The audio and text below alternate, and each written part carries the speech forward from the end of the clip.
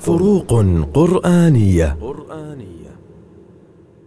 الفرق بين العالمين والعالمين. العالمين بفتح اللام جمع عالم. وهو كل صنف من أصناف المخلوقات في كل مكان وزمان. كعالم الإنسان وعالم الحيوان وعالم النبات وغيرها.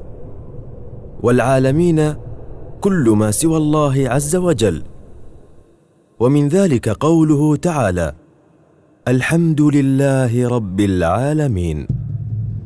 أما العالمين بكسر اللام فجمع عالم وهو العارف بالأشياء المدرك لحقائقها الخبير بتفاصيلها ودقائقها. كما في قوله تعالى ومن آياته خلق السماوات والأرض واختلاف ألسنتكم وألوانكم. إن في ذلك لآيات للعالمين. فروق. قرآنية.